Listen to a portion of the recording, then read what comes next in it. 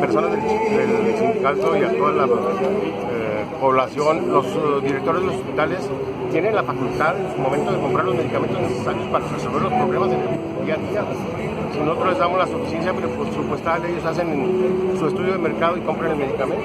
Pero si me falta un paracetamol, que además en la farmacia vale 10, 20 pesos, y que no me lo surte porque eh, como licitamos conjuntamente y consolidadamente con el seguro y no me llega la licitación porque el seguro social se tardó en adjudicar las claves, porque los proveedores no nos quieren surtir porque no les pagamos, entonces no sé qué, podemos hacer, ¿verdad?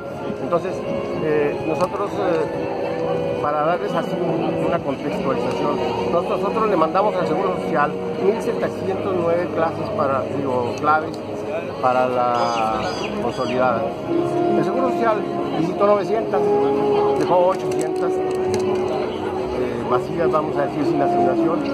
Entonces dice, no, es que esas están desiertas y esas las tienen que licitar ustedes. Entonces nosotros las empezamos a listar, pero no las podemos licitar hasta que el Seguro Social agota sus 14 procesos de licitación y eso lo hace a fines de diciembre. Y a fines de diciembre el Seguro dice, no, pues ahí están 800 claves que yo no te voy a licitar porque están este, desiertas.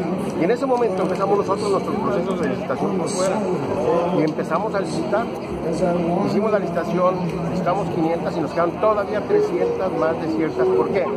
Porque las compañías farmacéuticas no quieren trabajar al precio que nosotros les pedimos, un precio derivado de algo que se conoce como causas. Causas es el catálogo único de servicios del Seguro Popular y es el que norma esos precios. Ya por fin nos pudimos nosotros adherir a un catálogo diferente y a un, eh, perdón, este, vamos a decir, a unos precios diferentes normados por una comisión especial que conforman todas las, eh, eh, vamos a decir, todos los organismos de salud pública de todo el país. Entonces ya hicimos la licitación de las otras 300 clases.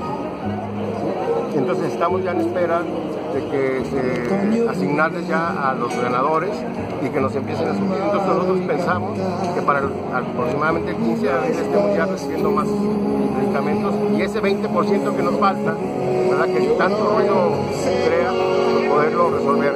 Yo creo que aquí el sindicato el problema más importante, toman esos 20% de medicamentos como una bandera, pero para ellos lo más importante son jubilaciones, homologaciones, ¿verdad? Todos esos problemas yo creo que para ellos son los más importantes. ¿Qué pasó con el fideicomiso? Nadie no sabe qué onda. El fideicomiso, ¿dónde andaba? El fideicomiso, como dije ahorita, es otra cosa, el fideicomiso se fue de paseo. Tuvimos que andar buscando a ver dónde estaba y, y- y, bueno, pues son cosas. Claro, ahí lo tenemos ya, lo que encontramos y lo rescatamos, pero mucho tiempo. ¿Y al que se lo llevó? No, pues ahí está ahorita. Bueno. Entonces, este, el asunto es que le dejaron de meter dinero, nosotros le estamos metiendo otra vez, ¿verdad? De lo que se les descuenta quincenalmente. ¿verdad? ¿Cuánto tiempo se